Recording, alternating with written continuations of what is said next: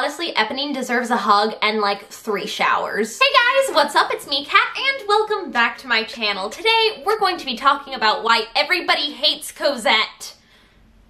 This is a video idea that I've been talking about for years. I'm talking like black hair and bangs for years. I don't know, now just felt like the right time to finally address and uh, defend my homegirl. If you guys are new here or if you didn't know, I love Cosette from Les Mis. If I had to choose a favorite musical, which I won't, I love all my children equally, Les Mis is I don't really have a favorite musical because I have too many favorite musicals, but like if I had to choose one, I answer that question as Les Mis. I love Cosette. I am a big fan of Cosette. I really want to play Cosette. I played her in a concert version of Les Mis. I am dying to play her in a full production. Uh, if you're new here, hi, my name's Katherine Steele and I really like musical theater, so much so that this is my musical theater internet cult. Hit subscribe to join the cult. We're like a really nice cult, so you should probably join. Is this what Midsommar is about? I haven't seen it it yet. Question of the day, are you Team Eponine, Team Cosette, or Team Ange I see you Barricade Boy shippers. Let me know in the comments down below, or if you have any other Les Mis opinions. I just realized I don't think I explained what we're talking about very clearly. I just kind of assumed that we're all Les Mis geeks. Basically, there are two really big sides when it comes to Les Miserables, a very popular musical. A lot of people are either Team Eponine or Team Cosette, and they are two girls that are involved in a love triangle with this boy named Marius. Spoiler alert for Les Mis. Can't believe I'm giving a spoiler alert for Les Mis. Cosette and Marius end up together and Eponine dies. In general, especially when I first started getting into musical theater, everyone hated Cosette. I would say that I liked Cosette and I would get kicked out of conversations. People were mean. Yeah, now realizing that maybe I just grew up with like a lot of theater bullies.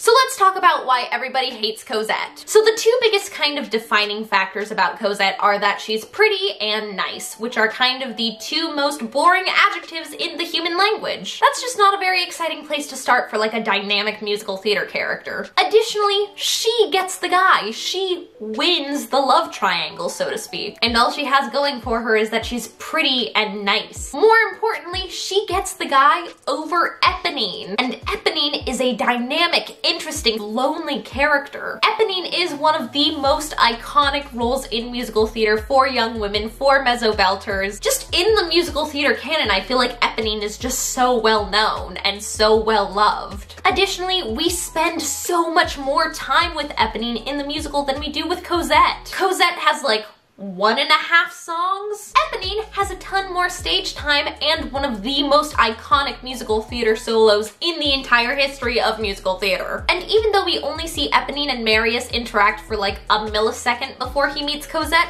we know that Eponine and Marius have an established relationship. It's not love at first sight. They actually know each other. They've cultivated a friendship. That's a little more interesting than just, she's hot, I'm in love with her. Basically where I'm going with this is that the musical has set you up to love Eponine. You spend a lot more time with her, you get to know her better, and in general, we sympathize with her. We see what a difficult home life she has. I would venture to say that we all know what it's like to have a crush on someone who doesn't like us back. The amount of times that I have self-pityingly blasted on my own followed by a little fall of rain in my room when my crush leaves me on read, truly my entire middle school experience. Additionally, they make Eponine the underdog. Now, in general, so many of the actresses that that I know who have played Eponine are total hotties, but in the musical they kind of create a world where Cosette is the real beauty and Eponine is just kind of pushed to the sidelines. She's who we identify with. We see Eponine's life sucking. We see her on the street. We see her terrible family life. She is always covered in dirt. Why is she so dirty all the time? There are a lot of other street people in Les Mis and they are not nearly as dirty as Eponine always is. Honestly, Eponine deserves a hug and like three showers because again, she's real dirty. So that is why everybody hates Cosette because the musical sets you up to love Eponine and to identify with her and to root for her and the fact that she's a tragic hero. She dies a martyr and it paints Cosette as the girl that your crush actually likes who's just kind of the human equivalent to unbuttered toast. So I understand where y'all are coming from on Team Eponine. I do really love Eponine. I just love Les Mis in general, but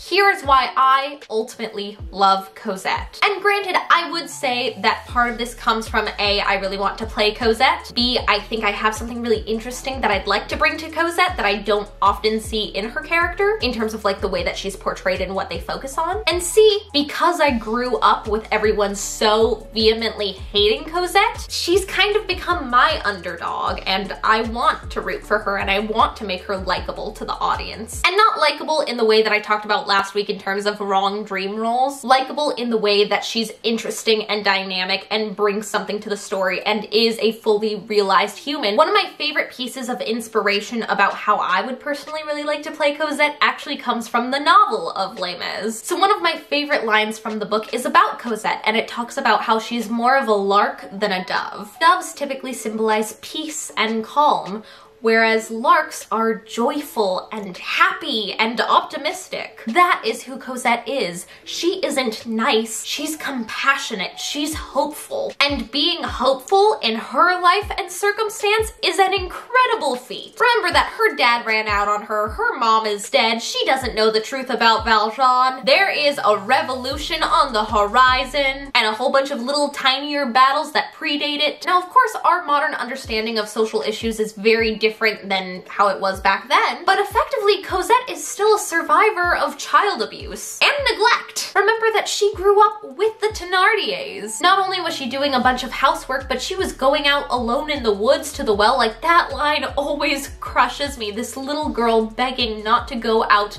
alone in the dark and cold. To grow up in that environment and then to turn out as well adjusted as Cosette does, that is a huge feat of self growth, self-healing. I don't even know what to call it, but I, I think it is so inspirational and beautiful. I think oftentimes the happiest people and the most compassionate people are people who have gone through some really, really difficult things. They want to become the kind of people they wish they had when they were in a bad situation. Granted, we don't get to spend a ton of time with Cosette in the show, but what we do get to see is so admirable. When we meet her as an adult, she is feeding homeless people. She just has a very kind heart. You can see it in the way that she treats Valjean. You can see it in her interactions with Marius in A Heart Full of Love reprise. That kills me, and I have no idea why. Maybe it's the intimacy, maybe it's the tenderness. That is pure magic to me. The way that she supports him and becomes his partner. I'm getting all emotional just thinking about it. I love Les Mis so much. And it's not that Cosette is bland or an idiot. She sees how awful everything is around her. She grew up through it. She chooses to be optimistic. She chooses to be joyful. She is not ignorant and blissful. She is trying to combat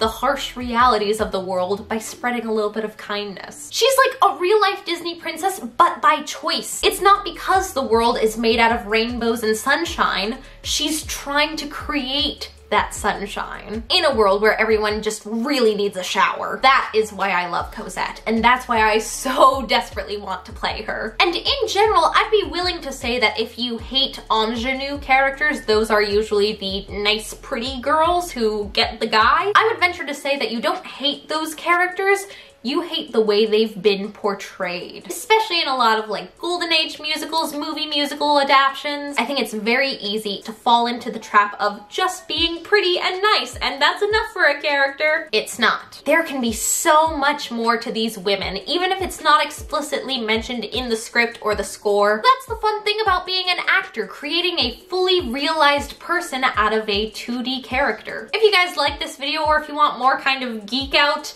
session video videos. I don't even know what this is. It was honestly just me ranting about Cosette for, I don't know, however long this video is. But if you liked it, give it a thumbs up. It really helps me out. Like, it seriously helps me out. So please do it if you liked it. If you're new here and you love musicals, hit subscribe. I also have a vlog channel. I've been vlogging a ton this summer. You smell unbelievable. and we have a ton more really fun vlogs coming up. Speaking of Les Mis, I'm gonna go see Miss Saigon next week? Next week! Seeing the uh, LA premiere of the US national tour of Miss Saigon and I might be on the red carpet for it. I'm so excited. So I'll definitely be vlogging that. So definitely subscribe to my vlog channel, Party at Kat's. I hope you guys are having a great day. I love you so, so much. Break a leg and I'll see you guys next time. Bye!